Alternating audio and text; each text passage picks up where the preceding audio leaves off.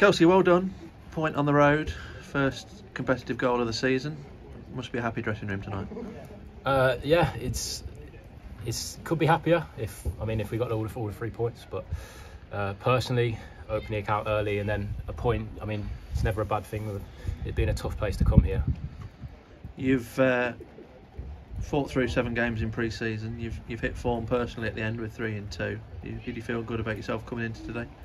Yeah, I feel like I mean I was getting frustrated with myself during pre-season with with not not scoring goals early on, but then coming in bunches and uh, I feel like confidence coming into the first game. It came at the right time. And that Grimsby game, you could almost see a visible release. You got one, you got two. You could have had three and four that night, and I wouldn't say you'd done badly during the opening part of pre-season, but strikers thrive on confidence when, when goals are flying in, don't they? And it, and it looked like that today when that ball was delivered. Yeah, it's it's one of them things. I think if you ask any any number nine or any any forward players, it's it's like three points is is the biggest thing. But I mean, goals goals are what win football matches, and every every number nine wants that glory. I mean, didn't didn't win a football match, but point to point to point. You're wearing the number nine. It's obviously a coveted number at most clubs. Managers brought you in, and I guess you and Jimmy are the two that he's really backing to, to go and get some goals this year. Uh, yeah, I mean, after speaking with the gaffer in the summer, it was one of them where it was like I always wanted to come here and, and work with him, and uh, it's nice to see that we've we've kind of repaid his faith in us during pre-season to, to get the first start of the season. And how big a result from the fact that you were a goal down? Boston were here on Easter Monday, very similar game.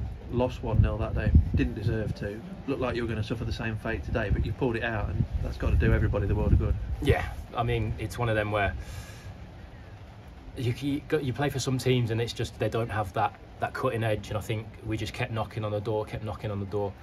And then uh, eventually, eventually it broke, and then we could we could have had a few more, to be honest with you.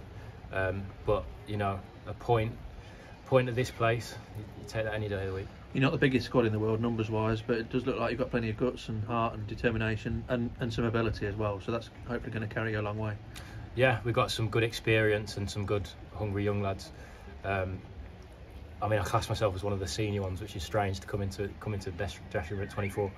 But uh, you know, I, I'm really enjoying it. Lads are great. Uh, the management team and the manager is brilliant, and uh, hopefully just build on it from here. How big a season for you? Because obviously you were doing well at Leamington. I remember you bullying a couple of our centre halves 18 months, two years ago, and then suffered that terrible injury. Has it been hard to, to come back from that? Yeah, I mean, it was probably the hardest thing I ever did during having the injury and having to sit on the sidelines for so long.